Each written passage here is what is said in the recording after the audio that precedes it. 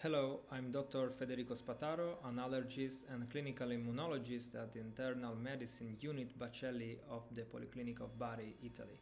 In this short video, I will present you the key points of our recent article published in Allergy entitled Efficacy and Safety of Mepolizumab 300 mg in eosinophilic granulomatosis with polyangiitis, a meta-analysis of eight retrospective studies.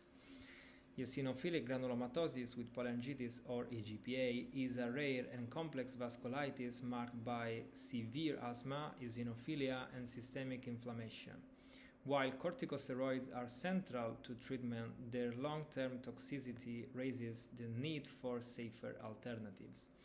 Mepolizumab targeting interleukin 5 has emerged as a promising option. Our goal was to systematically review its real world efficacy and identify potential predictors of treatment response. We performed a systematic meta analysis of retrospective studies evaluating mepolizumab 300 mg monthly in patients with EGPA. Studies were identified through Mayor databases up to October 2024 and included if they reported clinical relevant outcomes about oral corticosteroids, sparing, and safety. Pooled estimates were calculated using a random effect model, and meta regression was used to explore sources of heterogeneity.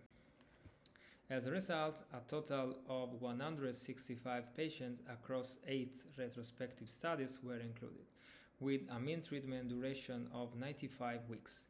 Mepolizumab led to a mean corticosteroid reduction of about 6 mg day, and meta-regression analysis based on the percentage of patients with neurological or cardiac involvement in each study showed a significant association with reduced corticosteroid tapering.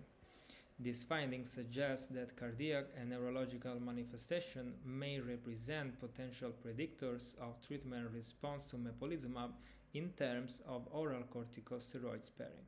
Overall, 54% of patients achieved remission over uh, and over 30% discontinued corticosteroids or immunosuppressants. The treatment was well tolerated with mild to moderate adverse events in 19% of patients and no discontinuation. Thank you for the attention.